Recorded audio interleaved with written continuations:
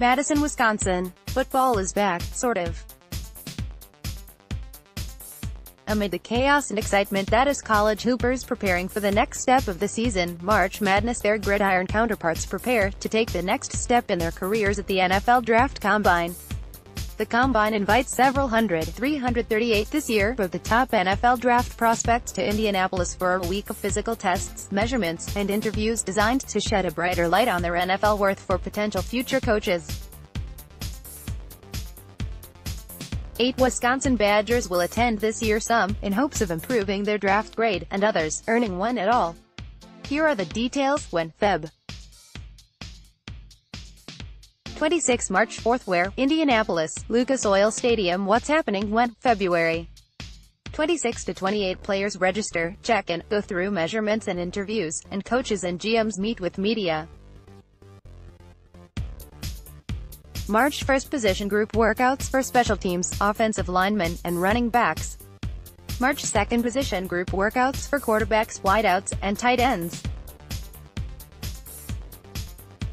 March 3rd position group workouts for defensive linemen and linebackers March 4th position group workouts for defensive backs. Here's how to watch when, March 1 to 4 starting at 8 a.m. CST TV channel, NFL Network plus 2 hours on ABC starting at noon on March 2nd. Live stream on phone or tablet, NFL app stream on computer, NFL.com slash watch As we said before, eight NFL hopefuls will represent Wisconsin this week in Indianapolis.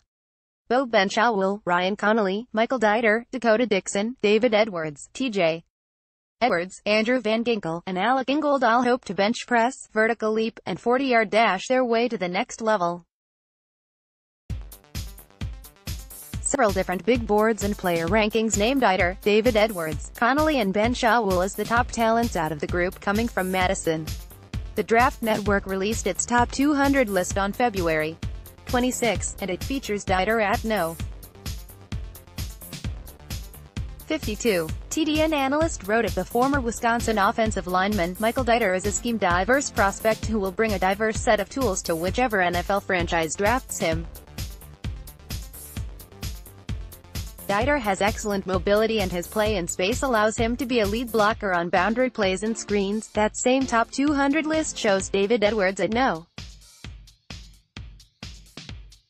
89, Connelly at number 164, and Benzschawel at number 177.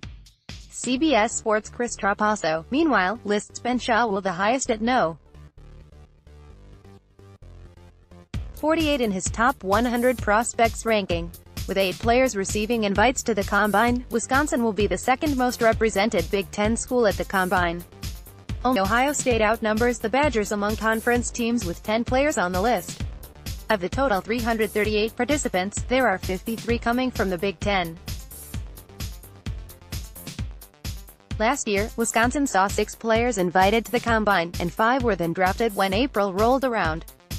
This year's draft will be held in Nashville from April 25 to 27.